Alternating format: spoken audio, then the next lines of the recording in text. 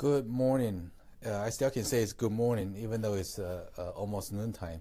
Um, I woke up early this morning, went to uh, Torrance Courthouse for a hearing, and uh, on the way back, um, I thought about the video that I put out uh, last month, and I talk about you know your attorney's character counts for your case, and I was thinking about it because I, I, you know one trip is about 40 minutes uh, drive in and uh, during that 40 minutes I was thinking, you know, your char- your attorney's character not only counts, uh, your attorney's personality, the way that they proceed, uh, you know, how they litigate a case can also shape the landscape of your case.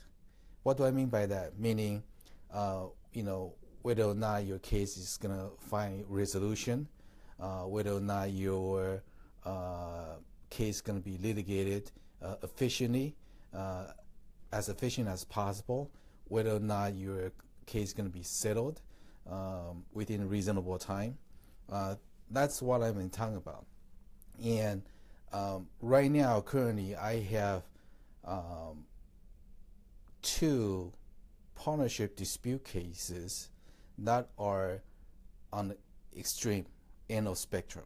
Okay, um, you know, again, they're dealing with uh, dispute between the partnerships, uh, which has a, a, significant amount of real estate holdings. Um, on one case, I filed on behalf of my client against uh, the, the other partner, and I got a call from the other attorney. And the first thing that came out with uh, his mouth was, "Hey, what does your client want?" And so I told him, I told I told him exactly what I'm expecting, what my client want in terms of resolving this issue. And the the other side's attorney listened, and we uh, work out a plan.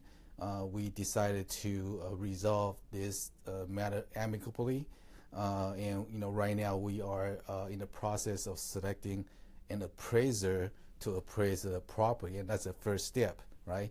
Uh, whether or not they're going to buy us out or we put the property on market, the first step is to know exactly the value of the partnership property. Uh, so we are working on that, and we we uh, find that there's enough trust be between attorneys, and I believe that the matter can be resolved very efficiently and with very uh, uh, you know, reasonable, I wouldn't say short, but a reasonable period of time. Obviously, we need to, uh, they take some time for appraisal to come in. Um, you know, we need to dig in whether or not appraisal is done properly, uh, things like that. So, um, uh, I believe that case is going to be resolved uh, very efficiently, okay, without spending all this money on the attorney's fee and the court costs. On the other hand, I have this case um, I'm representing the defendant. Um, you know, this partner, this partner of the partnership sued my client.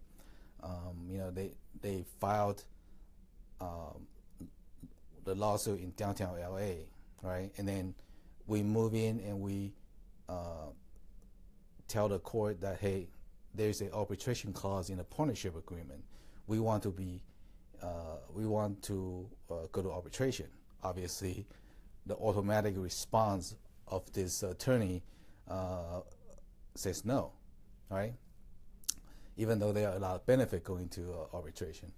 Um, so, regardless, we filed a motion. We filed a motion to to compel arbitration and to stay the case.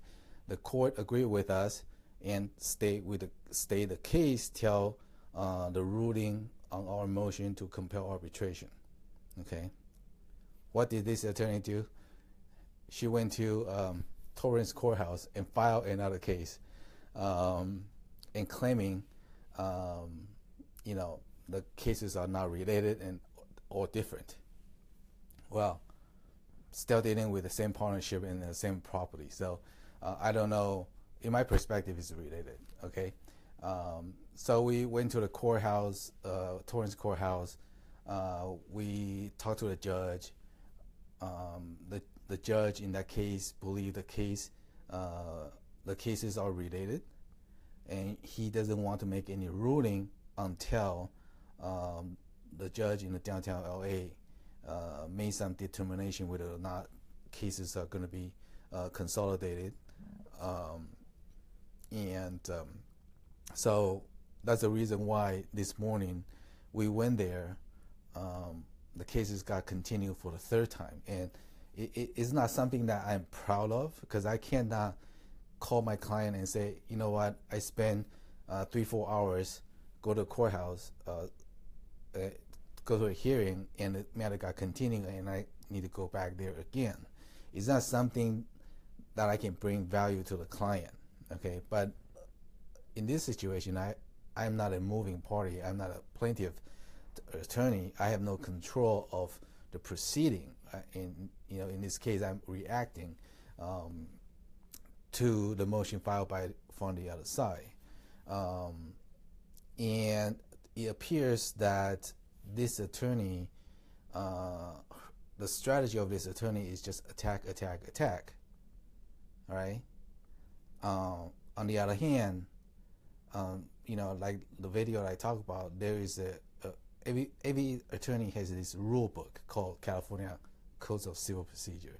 We all need to abide by these rules when litigating the case. So even though you can attack, attack, attack, uh, a nicer attorney like me, uh, I can always tame the, the the plaintiff's attorney. You know when when the attack comes, and when the attack becomes unreasonable. Okay, so they, there's a way we can tame the, the sharks, for lack of better words. Um, so um, I expect this case is going to be fairly expensive, uh, unnecessarily expensive, I should say. And and all litigation cases are uh, expensive in nature. Okay, I kind of understand that. I think it's my job is is to litigate a matter as efficiently as possible. But in this case, I I just think you know the the way it's going.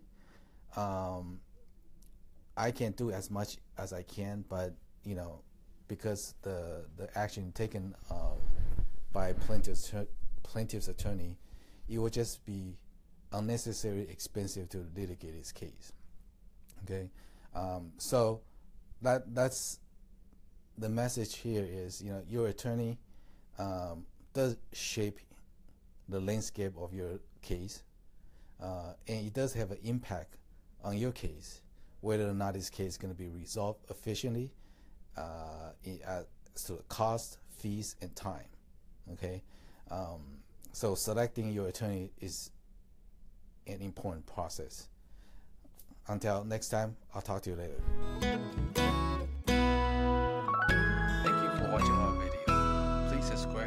Channel by clicking the subscribe button below. Please also check out our other videos.